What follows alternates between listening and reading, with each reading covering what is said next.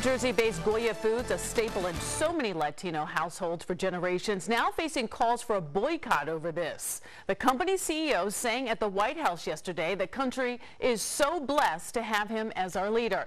Well, the backlash was swift. The hashtags boycott Goya and Goya Away now trending, and many prominent Latino voices outraged.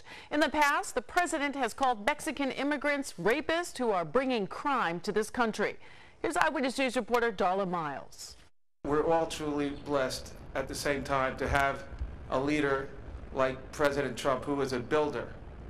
And that's what my grandfather did. He came to this country to build, to grow, to prosper. This is what the owner of the most prosperous Latino-owned food company in the U.S. said that got him into trouble with his loyal customers. Robert Unanue was invited to the Rose Garden Thursday as a part of the president's Hispanic Prosperity Initiative. And this morning on Fox News, he doubled down on what he said yesterday. I'm not apologizing for uh, saying, and especially if you're called by the President of the United States, you're going to say, no, I'm sorry, I'm, I'm busy. The comments set social media on fire with calls for a boycott. Lin-Manuel Miranda tweeted, we can learn to make our own adobo con pimienta. Bye.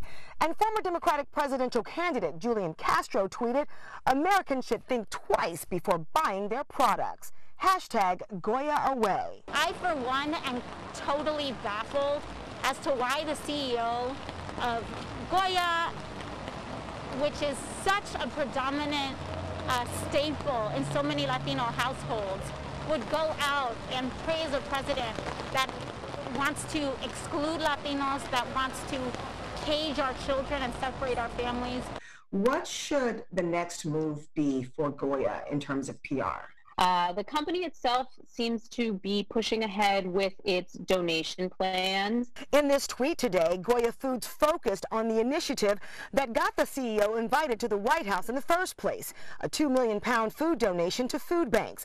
As for calls for a boycott, Jessica Wohl, the food reporter for Ad Age, says it is way too early to tell. What kind of economic impact could this really have? It's an unknown at this point, I think, Darla. I think that once the the buzz of it dies down, we'll see what people really do go out and purchase.